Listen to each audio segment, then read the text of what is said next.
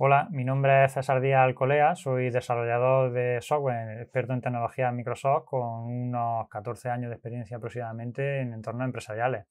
Hoy vengo a hablaros de código limpio y código sucio.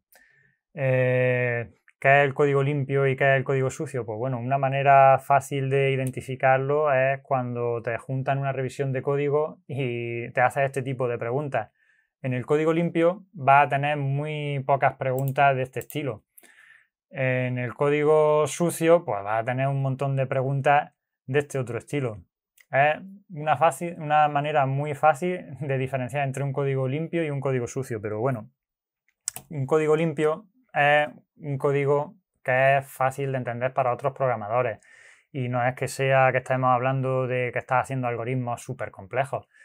Eh, si estás utilizando a día de hoy variables que tienen unos nombres malos, clases que son enormes, métodos que son enormes, cadenas mágicas, números mágicos, pues eso es código sucio. Eso es un código que es difícil de entender. Con lo que mm, al final vas a tener problemas y vas a estar pasando un montón de tiempo leyendo líneas de código y preguntándote ¿y esto para qué sirve? ¿y esto para qué sirve? ¿y a quién le pregunto? Y al final cualquier modificación que haga en el día de mañana eh, va a ser más compleja y pues, probablemente acabe cometiendo errores.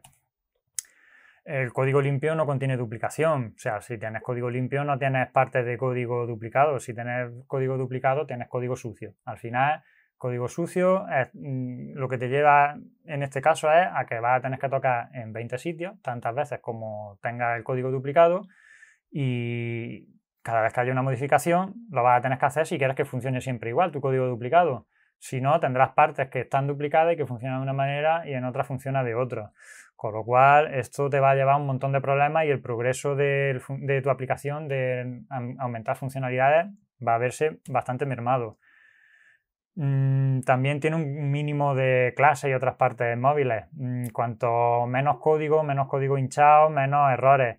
el código lo más simple posible. O sea, la idea del código limpio es que tenga mm, lo más corto y lo más simple, pero que se entienda. No hay que llevarlo al extremo y empezar a recortar por todos sitios y que al final tenga algo que sea poco entendible.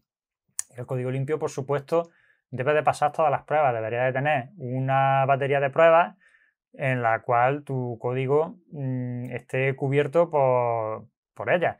Si no tienes pruebas, pues código sin test, pues es muy probable que tengas código con errores y código sucio. Eh, esto va a dificultar el que puedas limpiar tu código a futuro. Y bueno, el código limpio, mm, al ser tan fácil de entender, más corto, más sencillo y con menos partes duplicadas, pues es mucho más fácil y barato de mantener.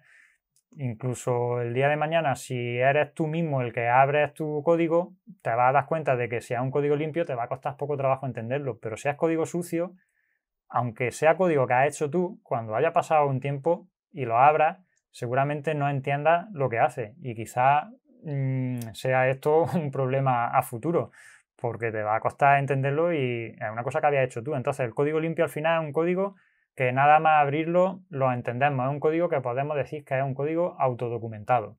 Hasta aquí este vídeo de técnicas para mejorar tu código. Espero que te haya gustado.